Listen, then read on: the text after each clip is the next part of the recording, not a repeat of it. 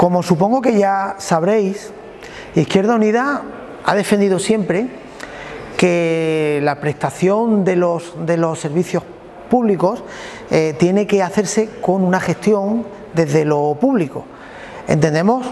en base a los datos, que es mucho más eficiente hacerlo así y también en base a nuestra ideología.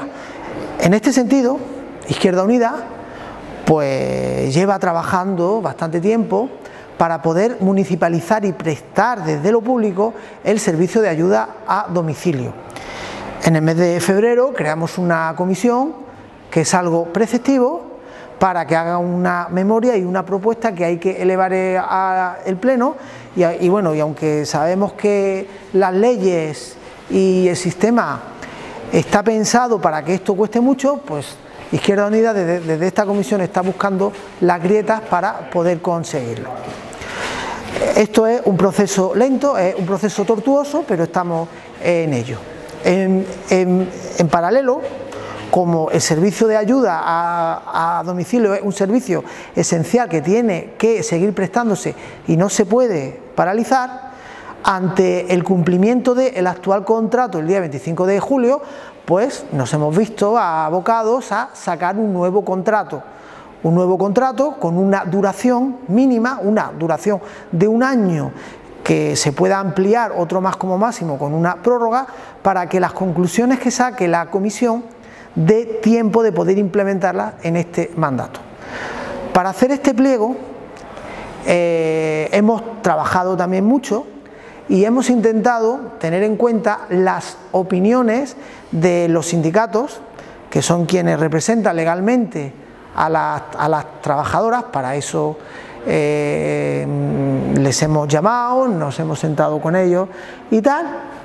y creo que al final hemos hecho un buen pliego que se va a ver reflejado cuando el nuevo contrato empiece a ser eh, eh, ejecutado. Y este pliego es bueno porque ha habido mucha gente que ha estado colaborando en él y me gustaría verbalizarlo. Primero le quiero darle gracias, gracias especiales a mis compañeros y, compañeras de, de Izquierda Unida y me parece relevante hacerlo en este caso,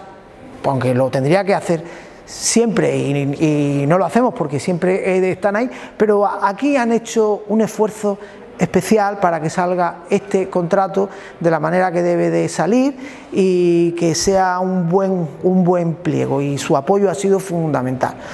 También quiero darle las gracias a los sindicatos que han hecho aportaciones interesantísimas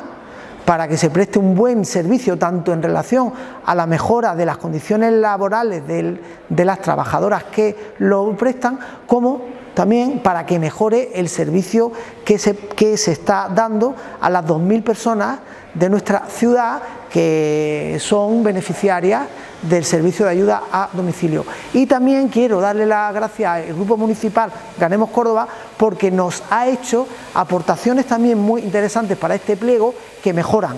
el, pliego. Y bueno, pues estamos contentos del nuevo pliego que va a salir y esperamos